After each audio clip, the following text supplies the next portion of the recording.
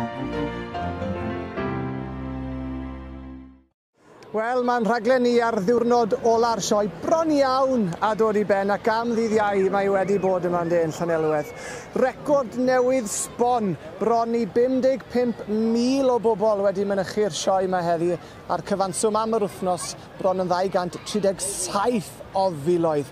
Ie, wythnos i'w chofio yma yn Llanelwedd. Dau, i ni wedi cael y cyfan yn do, i ni wedi cael yr hael ac i ni wedi cael y torfeidd erbyn hyn. Do, rhyw gawod fach yn trio dod o'n yn dyfe. Gadw'r llwch uwch lawr. Ond mae wedi bod y boeth yma, a tybod, mae gymaint o gyfeillgarwch ma, mae'r safonau mor uchel, a mae pawb mor hapus, meddwl ni fod yn fobl bodlon iawn. Mm. Chi wedi cael gres eich trad yn llythrenol ynghylch y gwartheg na thos yma.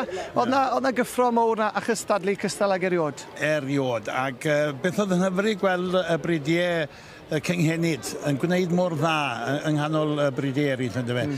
A ti'n bod, uh, gwynebau newydd, pobl yeah. ifanc, llawer iawn o bobl ifanc yn tywys y gwartheg yma.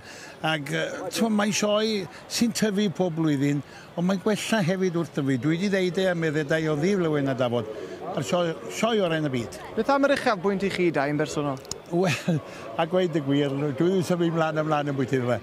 Ond uh, gweld y tendarw Henffordd yna, un o'r pethau gorau weles i erioed am hwnnw'n onest. A whare teg, pan oedd Alwy Rhys yn berniadu'r pencampwriaeth, y fiwch oedd yn ail yn fe, y fiwch sementar. Oedd fi'n fiwch a hanner. Fe wedi o'r hwyn rhywbryd, oedd hi'n gastell y fiwch.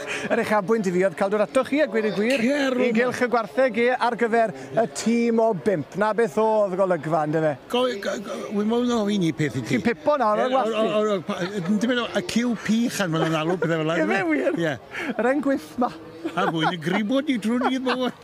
Ei, wedoch chi'r ddau ddechrau'r wythnos bod chi lwco'n rhys i. Wel, wi'n lwco'n chi, edrych. Wyt ti? O, dwi, wy'n lwco'n well, Wel, Di'n gwario pres, swap. Dau, i ni wedi cael wythnos i'w chofio. Mae Sir Merionydd wedi gwneud job i'n wych o fan Sir Nawr. Si'n siarad â Dic, gyda. Mae nhw wrth i bod e. Mae'r greiddiol deb a bobl cefn glad yn Sir Merionydd, ynddi. A mae wedi, wedi cael ei rannu dros y sioe i gyd. Mm. Gwych, er bod cymaint o Saesneg yma, lle di methu'r Cymru? Na, wir. A mae nhw'n addoli ni e- ar y sioe yma. Dau, diolch i chi. Reit. Ac ar ran ni'n dau, diolch o galon i chi adre am eich gefnogaeth ac am yn gwylio ni drwy'r wythnos. Cofiwch am y rhaglen uchaf bwyntiau heno am 5 munud ar hugen wedi 8 a'i nôl da chi bryd hynny a'r rhaglen uchaf bwyntiau nosil am 8 o'r gloch. Wrth y tîm i gyd, hwyl fawr i chi gyd! Ta-da!